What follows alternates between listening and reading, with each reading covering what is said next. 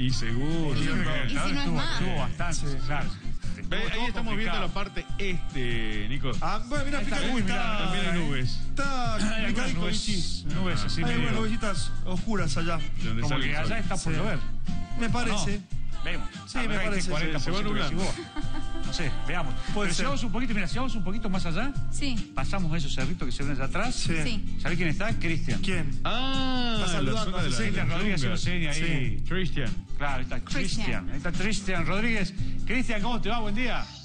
Hola Marce, Priscila, Nico, a todos ahí los que están en el estudio, a los que miran la tele, buen día. Bien, bien, arrancando acá con calor acá. Te cuento que el día de ayer eh, era tan agobiante el calor que recién miré el termómetro a las 5 de la tarde y hacían 42 grados. ¿Viste? Ah, 40. pero a las 5, ¿no? O sea que a las 3 de la tarde habrá estado fácil en 45. Sí. Fácil. Sabés que, que te iba a preguntar, recién, recién miraste el termómetro a las 5 de la tarde y te iba a preguntar qué no podías mirarlo a las 3, a las 2, para ver cómo hacía el... No lo quería. No lo mira. querías mirar No, porque no quiso ni mirar. porque estaba derretido. ¿Cómo el tema? No, lo que pasa es que, bueno, de- de- decía, no puede hacer tanto calor, ¿viste? Porque uno, yo me metí toda la, toda la tarde en el piletín, ¿viste? Ahí, ahí, y después salí, ¿viste? Cuando no, no agarro celular, nada, así que como que lo dejo ahí a un costado y me puse a mirar. Lo miró a las 5 y dijo, no puede ser. Claro, no puede ser. no puede 42 ser. a las 5 de la tarde. Claro, es un, es un tema, lo que habrá sido a las 3 de la tarde. Claro, no, no, pesado, pesado. Pesadito, pesadito, Cristian, ¿eh? Sí, sí, hoy parece igual, ¿eh? Epa. Ni una nube, te digo. ¿eh? No llovió ayer Cristian en Libertador, ¿no? No, no, no llovió nada. Ah, ¿viste? No, no, no, llovió acá. Acá cayeron algunas gotitas en la Pero capital. tampoco fue, claro, Pero no. tampoco fue, Cayeron tres, cuatro gotitas y. Y chao. Chao. Fue a Magui nomás. Claro, el tema es que, viste, ha- hacía calor, pero teníamos una brisa fresca a la mañana. Ahora a las 7 de la mañana ya está la brisa caliente y el ambiente está Claro, pesado. también Ajá. pesado, así que completito, digamos. Uy, qué lindo, qué lindo para trabajar esta hora. claro. Sí. ¿Y dónde, dónde estás hablando de eso? ¿Estás, estás en la calle? Eh, Estoy viendo- en la Regional 4 a- ahora, en la Regional 4. ¿Qué ha Hoy pasado? tenemos ronda de conferencia de prensa. Ah, no, siempre nos, nos actualizan de las cosas que han pasado, un poco para, para armar la rutina, ¿no? De, de la, del inicio de jornada, pero sí, está tranqui, digamos, el fin de semana no, no pasó mucho en el orden policial, hay un, un trabajo importante de las autoridades, así que cuando no hay novedades es porque la policía está trabajando fuerte, como siempre ustedes saben, siempre ocurre lo mismo, alguna que otra escaramuza, pero no, no ha sido lo, lo más llamativo. Lo que sí llamó la atención es lo que pasó con un chico, este, todos estábamos, inclusive acá lo hablamos, ¿no? De un accidente de tránsito, pasó el 17 de octubre de, este año, un chico que iba en moto, se le cruza otra moto, eh, cae con la cabeza al, al pavimento por la ruta 34, está varios días en, coma, ¿no? Este, se logra recuperar y bueno, después ahora nos enteramos que el fin de semana falleció. Upa.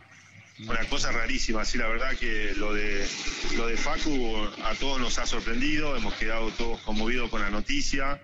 He tomado contacto con los familiares para preguntar qué es lo que había pasado. Bueno, Gonzalo, el tío de, Facu, me contó que este, bueno, él estaba bien. El día sábado pasado sintió un problema respiratorio, no tenía complicaciones para respirar. Entonces eh, se lo llevaron a San Salvador de Jujuy. Eh, allí, lo, bueno, producto de esa necesidad de respirar que no lo puede hacer con comodidad, eh, bueno, le ponen oxígeno, empieza a complicarse, complicarse, paro cardiorrespiratorio y, falleció. Eh, parece ser que tuvo un problema respiratorio que nada que ver con el accidente, porque ya se había recuperado del accidente. Recordemos que se le habían incluso puesto una malla, todo para que de a poquito vaya recuperándose, pero repentinamente se descompensó. Pachu llegó a estar participando inclusive de un partido que, que hicieron acá en Libertador, fue a visitar a los amigos, porque él jugaba en Club Unión Carilegua, en Peñarol de Fraile Pintado, y la verdad que fue una cosa rarísima lo que pasó, pero bueno, nos llamó a todos la atención el fallecimiento de este, de este chico tan, tan, tan particular, porque bueno, chico deportista, ¿no? Alguien que queríamos todos acá y, y se nos fue, lamentablemente. Qué bueno, ¿no? Bueno, son las cosas que tiene, que tiene la vida, Cristian. Eh, Así es. Comentanos eh, un poco más eh, respecto a esto, bueno, nos decías que el fin de semana había estado tranquilo. Yo creo que tiene mucho que ver con esta, estos operativos, ¿no? Que se llevaron a cabo por parte del Ministerio de Seguridad de la provincia. Sí, la verdad que ha sido importante la presencia policial en las calles durante el fin de semana. Han habido controles eh, todos los fines de semana hay, ¿no? Pero fue más agresivo, digamos, esta vez y se notó. Bueno, ocurre como siempre este, el tema de, de- que no, no pueden haber cada policía por cada chico, ¿no? Pero se ve movimiento en las noches con el tema de la de alcohol en moto, en autos, eso lamentablemente es una cuestión cultural que va a costar cambiar, pero bueno, fue menos en relación a, otros días, ¿no? Por además por el tema del calor uno imaginaba que, que podía ser más intenso, pero no, hubo mucho esto de control policial y eso ha permitido que, tengamos un, un martes en este caso tranquilo, ¿no? Arrancando como, como la semana después de un feriado largo. Cristian, eh, recién hablábamos con el ministro de, Turismo eh, respecto a lo que había sido este impacto turístico este fin de semana largo. Él habló mucho de lo que es el tema de la, de- la quebrada, pero también mencionó las yungas. Eh, ¿Cómo fue el movimiento? ¿Se vio movimiento por Libertador o todavía no, no hay tanto movimiento turístico? Nosotros tenemos temporada alta en invierno, Marcelo, ¿no? La- es- hay que ser sincero con eso por el tema de los calores, aquí es, es muy, muy ag- agotador, agobiante. Tuvimos visita turística, de hecho, un dato para comple- completar, digamos, se ha habilitado el tema eh, de la visita en los senderos, ¿no? Eh, Ya han comenzado a trabajar nuevamente los guías del Parque Nacional, o sea, hay cierta liberación en ese sentido, no, no estaban haciéndolo, así que bueno, ahora ya se comunicó oficialmente que se puede venir, digamos, la gente va a poder acceder. No, no es, digamos, la temporada alta, pero sí han, llegado turistas. Uno, uno lo observa lo que ocurra, digamos, en la noche, ¿no? Pero no, no fue tan importante como lo vemos en, invierno, por ejemplo. Qué bárbaro, ¿qué, qué temas estos?